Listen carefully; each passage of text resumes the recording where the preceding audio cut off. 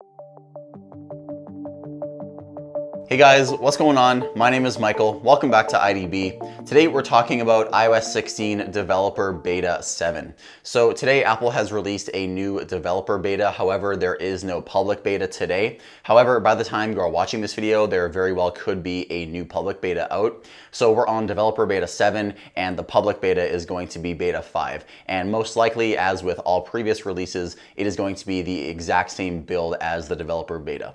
So as we can see here on developer Developer Beta 7, the build number ends in A. And if you are familiar with iOS betas, and if you watched my last video on Developer Beta 6, you know that as Apple works their way up the beta cycle, uh, they work their way up the alphabet as well. So the previous Beta 6 ended in B, and now we are at A. So this very well could be the last developer beta we see of iOS 16, and it really would make sense because iOS 16 is getting very, very stable at this point. So if you were on the edge of installing iOS iOS 16 beta if you wanted to wait for it to be very stable. I'd say there's no better time than now. We're honestly getting so close to a public release that if you just wanted to install it a little bit early on your device, I would say that these very late betas are going to be very stable for you. So we're getting to the point now in iOS 16 betas where Apple is not going to be making any changes at all. I did notice a slight change in the animation for the lock screen music player. So if I jump into music and I start playing a song and I go to my lock screen,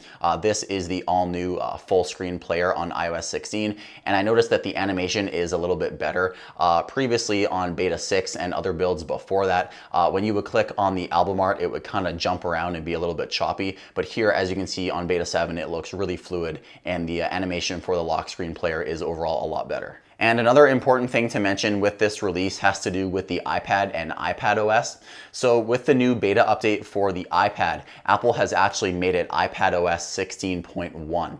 So this is important to know because Apple has actually delayed the release of iPad OS 16. So when iOS 16 comes out in September, we're not going to have an update for the iPad as iPad OS has been delayed for some unknown reason. Uh, my guess is Stage Manager, uh, the all new windowing feature. If you missed our video on that. I'll have it linked on the top right right here.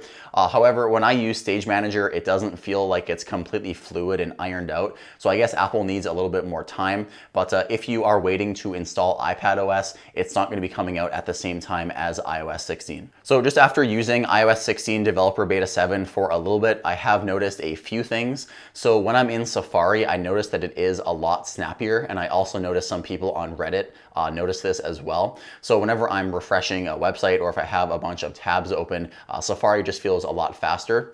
And one other small thing I noticed is I had some issues on the previous beta launching the camera from the lock screen, and it seems like Apple has ironed out a bunch of those bugs. So whenever I launch the camera by swiping on the lock screen, it goes right to the camera a lot faster as you can see here. So another thing to note, if I jump here into Twitter, a Apple insider, Mark Gurman, has mentioned that iOS 16 development is completely finished, and that would make sense because the iPhone 14 event is getting really close here. It's gonna be happening in the first half of September. So Apple wants to have iOS 16 completely finished and ready for the next iPhone. And according to Mark Gurman, iOS 16 is completely finished, and I guess internally they're working on iOS 16.1, and we should be seeing 16.1 beta as soon as iOS 16 comes out to the public. And staying on Twitter here, you can see on the homepage, it looks like iOS 16 is actually trending under technology. So it looks like people are getting really excited for iOS 16.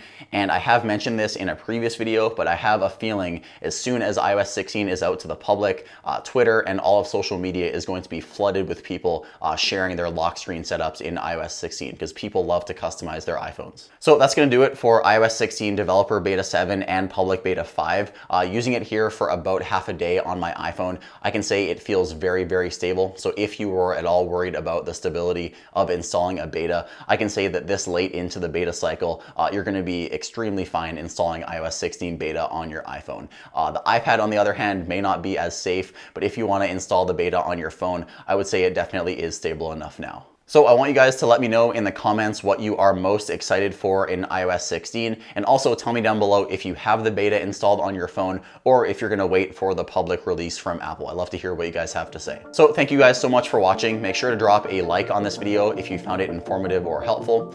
My name is Michael with IDB and I'll see you next time.